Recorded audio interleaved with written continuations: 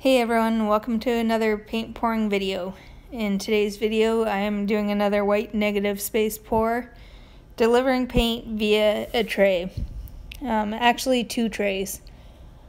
I am painting on a really large canvas. Well, large for me, anyways. It's uh, 5 feet by 30 inches.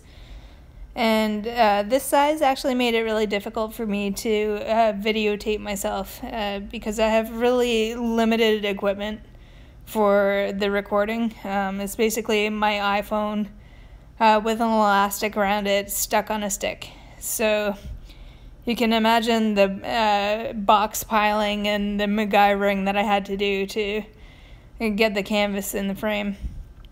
Um, uh, unfortunately, I wasn't able to get the tray loading into the frame. Um, so you missed that part, but I learned a really valuable lesson this time around, so I really wanted to share this video with you. So, by the way, this portion of the video is super sped up. Um, it just took forever to get the white paint evenly on there. I really wanted to uh, use the minimal amount needed because, like, even with the minimal amount, it, it took like almost a liter of Floetrol to do this.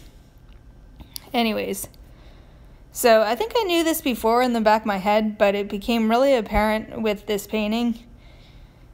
Uh, you get different cells depending on which way the paint exits the tray. So, like that first initial sweep, uh, the direction of the paint allowed for some really awesome cells. And then on the back sweep uh, is completely different. There weren't as many cells and it kind of really changed uh, in appearance. Which is interesting. I, mean, I, I, think that it allows for that really 3D look and um, it's going to be something that I'm going to play with definitely in the future. I mean, uh, I think that it, it just really adds to the overall look of the painting.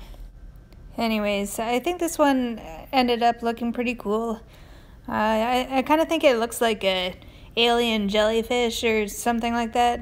Um, and you can see close up here um, the cells that I was getting. Uh, that first initial little bit there, that's my most favorite part of the painting. And then uh, as we go along the ribbon, uh, you can kind of see how the cells are changing a little bit. But as soon as we get up to that curve and that fold, you can uh, tell how much um, the paint just looks completely different. Um, so that's pretty interesting. I think that's about it. Uh, this is just a short little video, a, a, short one, but a good one, I think. Um, I hope you enjoyed watching. If you did, remember to hit like and make sure that you've subscribed to my channel. And also make sure that you hit the bell button for notifications when I post new videos. Um, thanks for watching. I hope that you have a great day. Bye.